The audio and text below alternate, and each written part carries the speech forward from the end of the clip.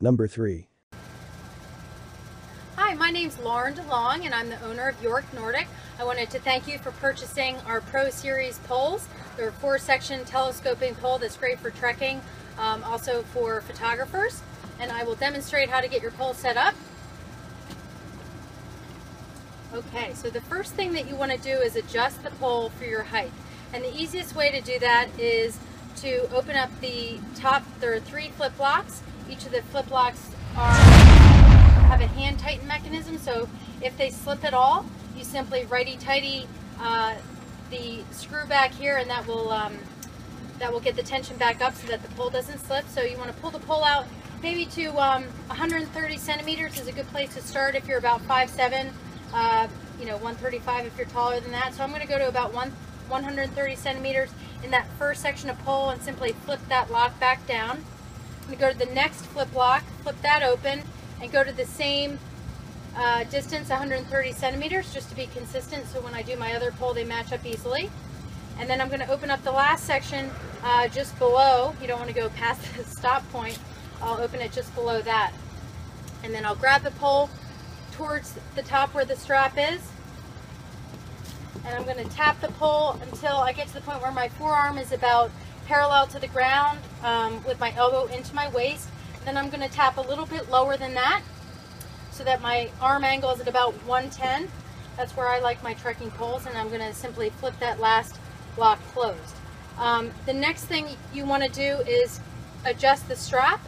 Um, what you do is you pull the strap webbing straight out from the pole, put your hand up through the bottom towards the sky, of wave to your friends, and then you drop straight down onto the pole. That's a little bit long. You want your hand, well, it's up to you, but typically want your hand a little bit closer to this top knob. So in order to adjust the strap and make it a little bit shorter, there um, is a mechanism here that threads the strap through and you simply adjust some of the strap through there and then pull that little tab. That will make it a little bit smaller.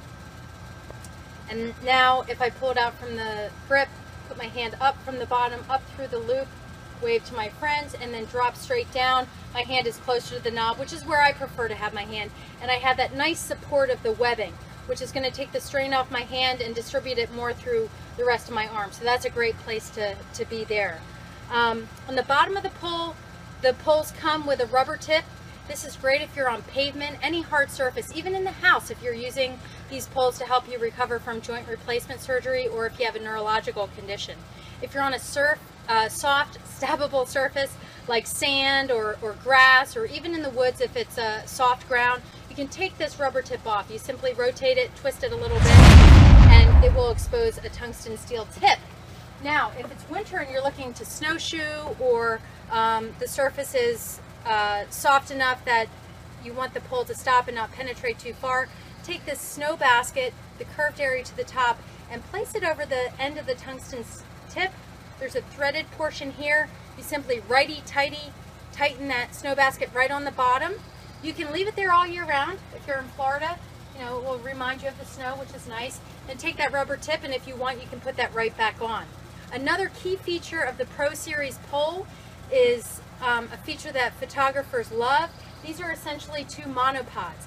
You take this top knob at the top, lefty-loosey, and that knob will come right off, exposing this threaded, uh, threaded tip at the top, which is great if you have a GoPro camera, a flip phone, even um, a high density um, and, professional grade camera. And you simply rotate your camera onto there and then you're able to take pictures and use it as a monopod and adjust the height, etc. Screw that back off.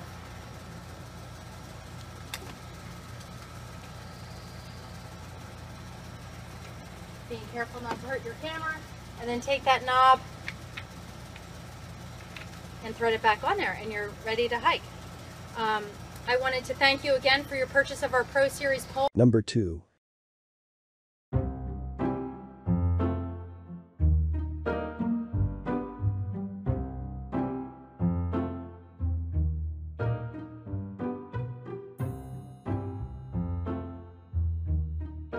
Phil here with Kelty again, this time to talk to you about the Range 2.0 trekking poles. Really, there's no reason to stumble down the trail. Built with a twist lock length adjustment, these poles offer customized stability. While cork and extended EVA foam grips provide all day comfort. Corky.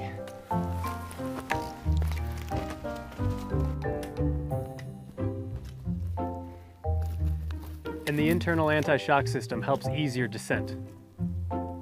Built with the same reliable durability you've come to expect from Kelty. Thanks, Magic Pole Man. Yeah. The Range 2.0 trekking poles will help keep you going mile after mile.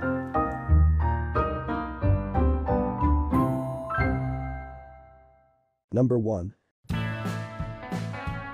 Cascade Mountain Tech carbon fiber trekking poles are comprised of 100% carbon fiber on all three pole sections, making them ultra lightweight and easy to wield on all sorts of treks. Each pole features a quick flip lock for easy height adjustments and is offered with either EVA foam or cork grip handles with padded adjustable wrist straps.